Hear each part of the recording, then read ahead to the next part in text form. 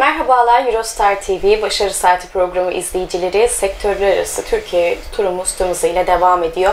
Kastamonu Abana'dayız. Abana'da yerel basın olarak hizmet veren Abana Haber'in konuğu olduk. Karşımda işletme yetkilimiz ve kurucumuz Metin Bey bulunuyor. Merhabalar. Merhaba efendim, hoş geldiniz. Hoş bulduk Metin Bey. Tabii ki verdiğimiz hizmetlerden bahsetmek istiyorum ama öncesinde sizleri tanıyalım. E, 1965 Abana doğumluyum. E, Burada okudum, burada emekli oldum. E, 20 seneden beri bu sektörün içindeyim. E, Gücümüz yettiğince yazılı basın ve internette haber sitesinde haber giriyoruz.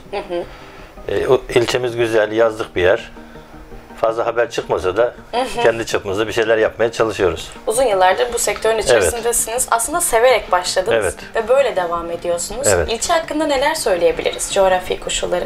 E, İlçemiz Karadeniz kıyısında güzel bir ilçe.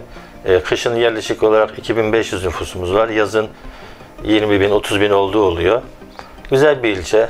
Herkesi bekleriz. E, Yazın e, zaten tercih edilen bir alan Evet. burası. Burada öncü olarak hizmet vermenin de ayrıcalıklarını kullanıyorsunuz. Evet. Peki nasıl ilerliyor süreç? E, İlçemiz ufak olduğu için daha çok haberler, e, yereli ilgilendiren haberler, iş yeri açılışları, vefat haberleri. e, böyle güzel haberler olursa seve seve yayınlıyoruz. Evet. E, gazete çıkardığımız zaman Abana ve Bozkurt ilçesinde ücretsiz dağıtıyoruz. Bine yakında adresim mevcut.